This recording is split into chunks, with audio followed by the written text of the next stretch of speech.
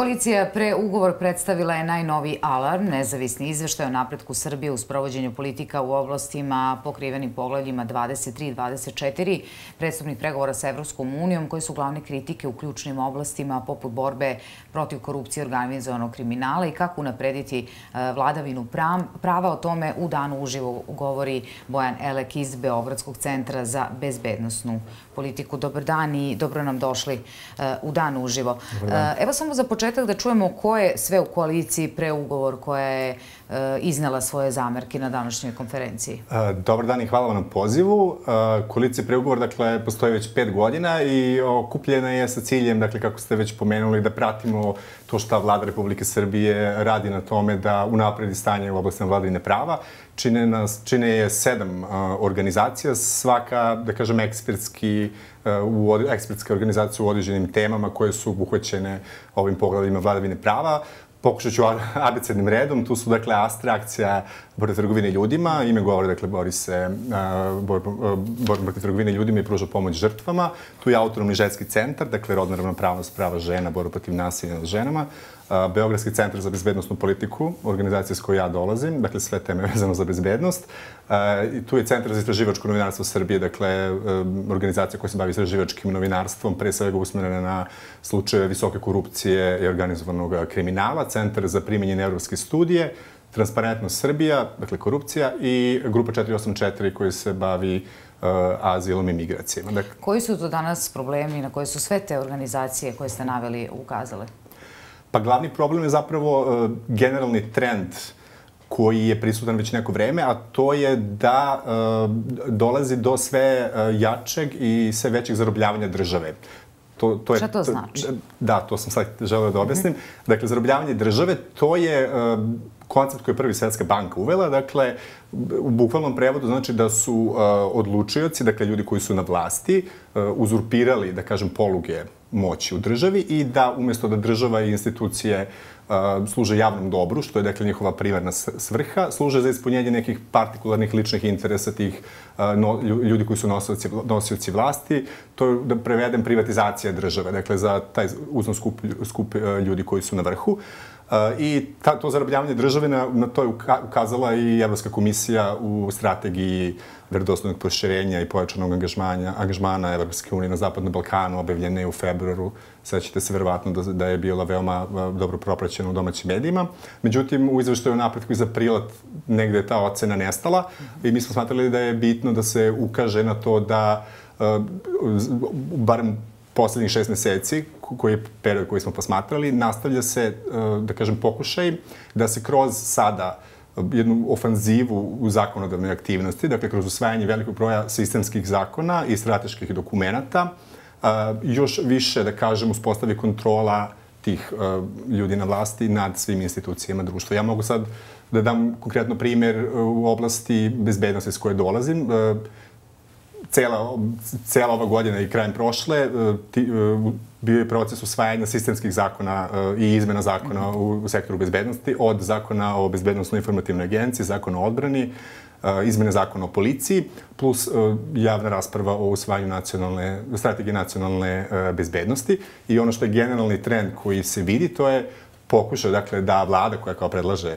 zakone koncentriše moć odlučivanja u sve manji broj ruku, da tako kažem. Dakle, sve manje ljudi se pita uh, o ključnim pitanjima bezbednosti, uh, a sve, da kažem, kontrolne mere i mehanizme koje su uz veliku muku, jel te, uspostavljene preko njih 20 godina, uh, su ili obesmišljeni ili učutkani, tu počeš od internih kontrolora, dakle jedinica unutar institucija bezbednosti koji bi trebalo da kontrolišu zakonitost postupanja, pomenut ću, na primjer, u okviru Ministarstva unutrašnjih poslova, sektora unutrašnje kontrole, pa do spoljašnjih nadzirača, dakle do skupštine nadležnih odbora. Koliko je, koliko je to opasno sve što navodite?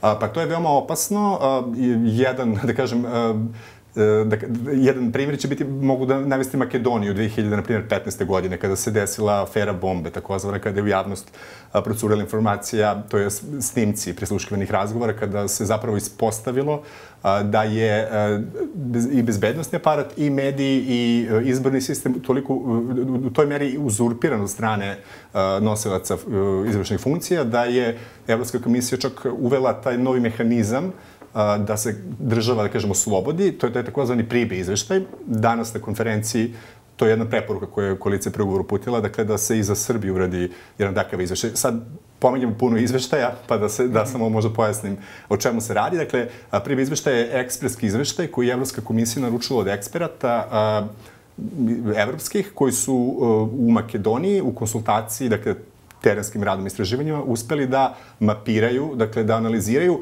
na koje sve načine uh, uh, politika, da kažem, uh, uzurpira ostale uh, po, oblasti. oblasti. Dakle, od medija preko sudova, tužilaštava do bezbednostnih struktura. I dakle, taj izveštaj izvao veliki bum u javnosti jer se pokazalo zapravo koliko duboko ide ta, koliko duboko zapravo Makedonija zarbljena. Znate da je Makedonija nakon toga dve godine bila u, da kažem, jednom limbu, ako mogu to reći da iskoristim, do izbora prošle godine kada se situacija promenila. Dakle, to je otprilike sad ne bih da naravno Mislite strašim, da došlo, ali da. da je to jedan od mogućih scenari. scenari scen, ne volim reći scenariju, ali jedan od mogućih, da kažem, ishoda ukoliko se ovaj proces uh, nastavi. Ja bih podsjetila na izjavu koju smo više puta pominjali, to je od visokog funkcionera Bezbednostno informativne agencije koji je nazvao opoziciju i nevladin sektor i, i pojedine medije stranim agenturama. Mm. Koliko je to opasno? Da li je to upravo ovo o čemu vi govorite? To je jedan aspekt toga sada, jako je bitno da se, da se ukaže na to da, da, to, da je to definitivno, da kažemo, organizovani jedan pokušaj da se učutka svaka, svaka vrsta kritike. Dakle, to je jedan od uh, načina na koji se, inače, građansko društvo, tu mislim i na nevladine organizacije, ali i na medije, sindikate, udruženja, pro, profesionalno udruženje, poput sudija tužilaca, da se, da se oni učutkaju i isključe iz, eh, da kažem, procesa javnih debata, da bilo na, na bilo koji način daju kritiku ili uh, pokažu svoje mišljenje. Uh, gospodin Parzanović je, dakle, tu izjavu, uh, da kažem, izrekao na jednoj konferenciji koja se, koja, pod nazivom Ka bezbednoj, ka bezbednoj Srbiji, I tu je, dakle, kako ste pomenuli, pobrojao da, između ostalo, glavni bezbednostni problem Republike Srbije jesu i deo nevladinog sektora koji je u dosluhu sa službama spolj, spoljnog faktora, kako je nazvano, i da su organizacije nevladinog društva taj subverzivni element koji rade na, na rušenju države. To je stvarno, dakle, crtanje meta na čelo ljudima koji, koji rade, koji je nabrojao. Ko, koji je nabrojao. A to je, to dakle nije jedinstven, to nije samo jedan, dakle, primer. Imamo i napade na istaknute predstavnike građanskog društva i od strane narodnih poslanika i kroz uh, provladine medije. Imamo takođe pokušaje da se na neki način nemogući rad uh, istraživačkih organizacija, na primjer, slanjem uh, inspekcija, podnošenjem uh, tužbi, uh, ima čak i na nivou donošenja novih zakona. Na primjer, trenutno je u toku javna rasprava o novom zakonu o slobodnom pristupu informacijama od javnog značaja, koji, ako se usvoji u ovakvom kakvom je sada obliku, ozbiljno preti da ugrozi bilo kakav, uh, da kažem, pokušaj da se spolja Da li je to sistemska promena do sadašnjeg sistema i onoga što je možda bilo dobro? U tom dosadašnjem sistemu? Mislite u okviru slobodnog pristupa informacija? Da, na primjer. Da, Samo jedan od primjera. Da, definitivno, budući da je, pored e, same činjenice da je zakon, e, kakav je ovaj trenutno važeći, dakle, trenutno se javna rasprava o novom koji treba da bude usvojen, A, on je ocenjen kao jedan od najboljih u svetu, a i praksa poverenika je pokazala, budući da je on nadležan poverenik, dakle kancelarija zadužena za, zadužena za primjenu ovog zakona, a, zapravo praksa a, kancelarije je a, u mnogoj meri a, olakšala rad i omogućila da saznamo mnogo toga što inače ne bismo mogli da saznamo. Mogu da navedem primjer iz konkretne prakse Beogradskog centra za bezbednostnu politiku, gde smo kroz zahteve za pristup informacijama uspeli da saznamo kako se menjao broj zaposlenih unutar Bezbednostno informativne agencije, pa smo na osnovu tih podataka mogli da zaključimo da dolazi do partijskog zapošljavanja u agenciji. To je samo jedan primer, brojni su drugi, pretpostavljeni vi kao novinarka se svesni, jel te, koliko je to važan i značajan dokument. E, da pređemo i na druge mm -hmm. oblasti, e, kao što ste rekli, koalicije i autonomni ženski centar, e, upravo je bilo reči o, o neosnivanju nacionalnog SOS telefona. Da, da koleginice iz autonomnog ženskog centra ukazali smo na taj problem. Dakle, Srbija, Republika Srbija ratifikovala konvenciju Saveta Evrope kojom je preuzela međunarodnu obavezu na sebe da uspostavi nacionalni SOS telefon za žene žrtve nasilja. Dakle, taj telefon mora da pokriva teritoriju cele Srbije i da bude 24 sata. To je ono što je i ministar Đorđević obećao da, da će da. biti Da, međutim, kada vidite kako se to, da kažem, sprovodi u delu, ta mera koja je zaista neophodna i dobra za znamo koliki je veliki problem nasilje porodice i nasilje e, prema ženama. Ona se, da kažem, e, izokrenula u svoju suprotnost. Dakle, e, ministarstvo nadležno je skoro, relativno skoro raspisalo treći po redu konkurs, iako zakon o socijalnoj zaštiti jasno nalaže da se raspisuje javna nabavka za ove usluge i ovaj put, dakle sada, ministarstvo je pribavilo zaključak vlade kojim vlada suspenduje član zakona. Dakle, to je potpuno be, besmisleno sa stanovišta prava i nemoguće da vlada suspenduje svojim zaključkom jedan član zakona. Sad, na stranu te proceduralne probleme... A koje posledice bi mogla da bude toga? Uh, ja sad ne bih mogao da ulazim u detalje šta je, šta je da kažem, iza tog, iza, iza tog tvrdoglavog odbijanja da se postupi po zakonu, mm -hmm. ali čim, dakle, postoji motivacija da neko ne radi po zakonu, pretpostavljam da tu nisu neki uh, da kažem, uzvišeni motivi. Sad ne bih da spekulišem šta je konkretno razlog, ali čak i ako ostavimo na stranu ove proceduralne, da ih tako nazovem, probleme, e, način na koji je u smernicama za taj konkurs raspisano šta se zapravo nabavlja, više deluje kao da ministarstvo želi da uspostavi call center, budući da je predviđena nabavka skupe opreme, supervizora, uzimanje podataka od osoba koje se javljaju, što je sve u suprotnosti sa, sa standardima koji, koje Srbija preuzela na sebe. Dakle, čak i kada bi se sprovelo ovako kako se sprovodi, ne bi opet uh, uh, proizvelo željene rezultate. Da ne pominjem da SOS telefon već postoji za područje teritorije Vojvodine i da su ženske organizacije evo 28 godina već jedine koje udružene, da, udružene i to same, koje da, same da, su organizovale. Da. Baš predlažem da poslušamo Bobanu Macanović iz Autonomnog ženskog centra e, koji navodi kao jedan od niza problema je navela i zakon o besplatnoj pravnoj pomoći. Što se tiče zakona o besplatnoj pravnoj pomoći, njega je vlada usvojila i on je poslat u Skupštinu. Uh, dakle, sem što je ovo jedan izuzetno skup zakon, s obzirom da uh, smo dobili zakon u kome će besplatnu pravnu pomoć na svim nivoima pružati advokati, za koje svi znamo koliko su skupi. Uh, bitna stvar je znači, da on sam po sebi diskriminiše ne samo nevladine organizacije kao nekoga ko više neće imati mogućnost pružanja besplatne pravne pomoći, nego i same pravnike koji pravnice koje su zaposlene u tim nevladinim organizacijama. Autonomni ženski centar je u prošloj godini pružio 2500 uh, besplatnih pravnih usluga i pruža besplatnu pravnu pomoć 25 godina. Uh, mi smo potpuno iznenađene da znači od sledeće godine mi to više nećemo moći. Uh, pravnice su diskriminisane na način znači da ako ste vi završili isti fakultet i ako ste zaposleni kao pravnica u uh, lokalnoj jedinici lokalne samouprave ili u advokatskoj kancelariji ako ste pravne pripravnica, vi ćete moći da pružate pomoć, a ako ste zaposleni u nevladinoj organizaciji nećete moći kao da ste završili neki drugi fakultet. Ono što je zanimljivo jeste da u samom zakonu, u obrazloženju zakona stoji da će nevladine organizacije moći da pružaju besplatnu pravnu pomoć. U samom tekstu zakona se to uh, ovaj, ne vidi i mi nekako imamo sada neku veru da će se naći neki razuman poslanica, poslanik poslanica koji će uneti neki suviso admanman ovaj, na, na ovaj zakon, tako da u stvari samo ono što je u obrazloženju se pretoči u tekst zakona, jer će obrazloženje nestati u nekom momentu.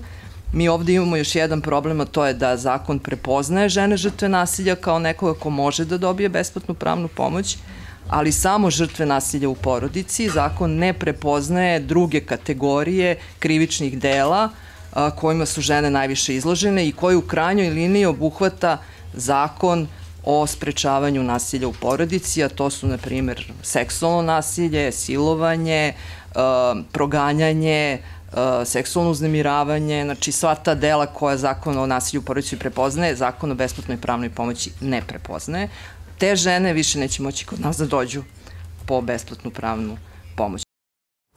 Nastavljamo razgovor u studiju, sa mnom je Bojan Elek iz Beogradskog centra za bezbednostnu politiku. E, evo, čuli smo e, zamerke e, gospođe Macanović. Vratila bih se ponovo na, na ono što je negde vaša oblast. Ova godina se ističe po broju mafijaških ubistava. Ono što možemo da vidimo da, da, da nema rešenja i da nemamo ishode. E sad, da li je zbog toga, kao i ono što ste vi navodili, da, da u policijskim strukturama imamo ljude koje su povezani sa, sa kriminalom? A, sad tu treba razvojiti nekoliko problema. Dakle, policija Republike Srbije u velikoj meri nije sposobna da se na adekvatan način suočava i da se bori protiv uh, organizovanog kriminala, pre svega organizovanih kriminalnih grupa. To je jedan od pokazatelja toga, jeste i uh, u poslednje četiri godine nikad veći broj mafijoških ubistava nerasvetljenih uh, na ulicama Srbije. Sad u procesu pridruživanja Evropskoj uniji predviđene su brojne reforme koje bi trebale da omoguće da se unutar policije uspostave, uvode nove mehanizmi rada, podizognu kapaciteti, dakle da se napravi sistem da se efikasnije suočavamo sa tim problemima. A, sad, e, ono što ste vi pomenuli u vezi sa uticajem e, organizovanog kriminala, to je sad drugi problem koji je, na koji je takođe Evropska komisija, dakle Evropska unija ukazala, gde Srbija ima još uvijek preporuku neispunjenu i ne radi se puno da se ona ispuni, a to je dakle da se naprave mehanizmi koji bi ograničili i uklonili uticaj politike i organizovanog kriminala iz operativnog rada policije. Bili su brojni primjeri e, u proteklih e, godinu, dve dana, gde smo vidjeli dakle, da, te, da ta veza da ta veza postoji. Tako da definitivno je to jedan od ključnih problema, jer dokle god je policija politizovana, dakle dokle god... Postoji taj problem. Da, poli, politički, neće biti ni rešenja. Neće biti ni rešenja, dakle dokle god profesionalci, policajci ne budu bili slobodni da rade svoj posao u skladu sa uzusima profesije. Predlažem mm -hmm. sad na kratko samo da poslušamo i izjavu koja se tiče e, pravosuđa. Mm -hmm. e, naime, Nemanja Nenadić iz Transparentnosti Srbije ističe da su sporne ustavne promene, jer kako kaže vlast nije objasnila zbog čega su te promene, kako tvrde, najbolje moguće. Dakle, imamo upravo sada aktuelne debate, čini mi se o četvrtoj, četvrtom tekstu najavljenih promjena u oblasti pravosuđa.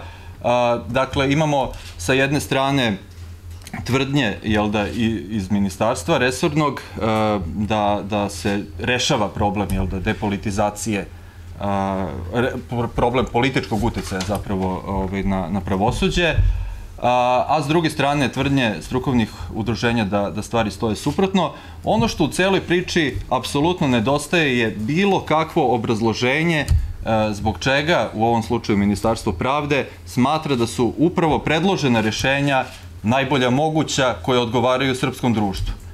Sad možemo mi da pričamo da li je Venecijanska komisija kao jedno ekspertsko telo dalo ovakve ili onakve preporuke, da li su sada ove izmene usklađene sa njima ili ne. Ali to uopšte nije suština stvari. Suština stvari je da, da građani Srbije koji će na kraju krajeva morati da daju svoj sud o tim promenama i na referendumu, dobiju zaista uh, obrazloženje, objašnjenje zašto uh, državni organi Republike Srbije smatraju da se upravo na ovaj način uticaj, politički uticaj na pravosuđe otklanja ja mislim da ove rešenja ne obezbeđuju taj cilj ili ga makar ne obezbeđuju na najbolji mogući način. Evo, čuli smo šta transparentnost kaže. Juče smo, ono što, što smo juče videli jeste da je Srbija i dalje e, na crnoj listi Međunarodnog tela za borbu protiv prajanja novca i finansiranje e, terorizma. Koliko je to loše za Srbiju? I pre, nismo juče dobili odgovor od premijerke na, na to. A, da, pa to je zapravo problem koji se negde početkom ove godine pojavio, da kažem, u javnosti, o njemu se više priča. A, samo da objasnim u čemu se radi. Dakle, a, telo, takozvano Financial Task Force, morao bih tako da ga nazovem, a, to je dakle ekspertsko telo koje, da kažem, a, analizira zemlje i ocenjuje u kojoj meri postoji rizik od toga da se a, novac a, koji je stečan nezakonitim radnjama, pre svega kriminalom, dakle različitim tokovima pere i koristi ili za finansiranje terorizma, na primjer, što je jedan od, od glavnih, da kažem, problema o kojima sada razmišlja.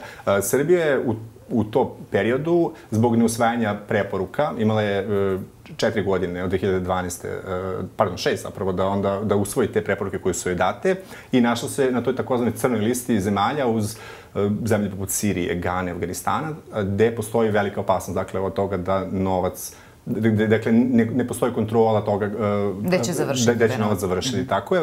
Sad, pored ovoga, treba pomenuti da je takođe na jednoj, u jednoj drugoj da kažem, priči. U američki State Department koji ima svoju strategiju globalnu borbe protiv droge, Srbija je tu navedena kao jedna od zemalja sa velikim rizikom, dakle novac koji se zarađuje od prodavanja narkotika takođe Srbija se koristi kao destinacija za njegovo pranje, tako da je to veliki problem. Posebno je veliki, da, budući da Srbija nema unutar svojih institucija za sprovođenje zakona dovoljne kapacitete, dakle da radite finansijske istrage, uh, zamrzavanje imovine, dakle to je još uvek dosta sofisticirani uh, metodi koji opet u procesu pridruživanja Evropske unije treba, uh, treba da uspostavimo. Sad, premijerka, ukoliko se dobro sećam kako je to obrazložila, da zapravo Srbija jeste sve veliki deo zapravo tih preporuka uvažila u prethodnom periodu, ali da još uvijek nije stiglo da su saglasi ocena da je Srbija zapravo to ispunila i to je, barim prema informacijama kojim ja raspolažem, u velikoj meri tačno. Tako da, pretpostavljam da će u skorije vreme Srbije biti uh, skinuta sa te liste, međutim, već su se osetile negativne posledice. Možda ona koja je u medijima naj, da kažem, zapaženija jeste bila da je Google ukinuo mogućnost da se koristi njihov, da kažem, paket softvera za korisnike iz Srbije kao posledica jedna od ovih, dakle, uh, posledica ove situacije. Bojane, hvala vam mnogo na ovom razgovoru i što ste analizirali sa nama zajedno ovaj izveštaj. Hvala vam na pozivu.